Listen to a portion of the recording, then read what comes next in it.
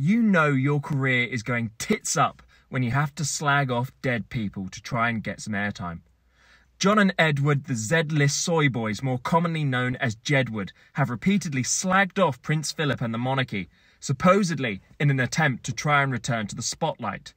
Not that they ever really had much of a spotlight, seeing as their claim to fame is finishing in sixth place on X Factor and now insulting the dead.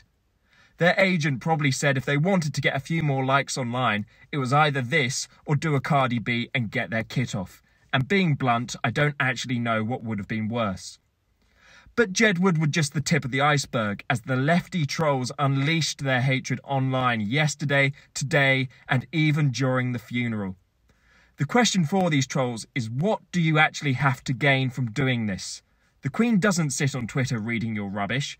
And I imagine the royal family are a bit busy leading our great country to listen to fake accounts with a cartoon profile picture from Brighton, Liverpool, or Bristol slag them off.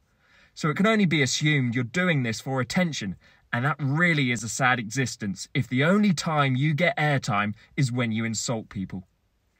Obviously, I've had to keep this video toned down and would have preferred to leave you with a Prince Philip-esque comment. But I'll leave what I wanted to say to these trolls to your imagination. Now, I'm off to raise a glass to Prince Philip and the Queen, so enjoy shouting at yourself and your followers online.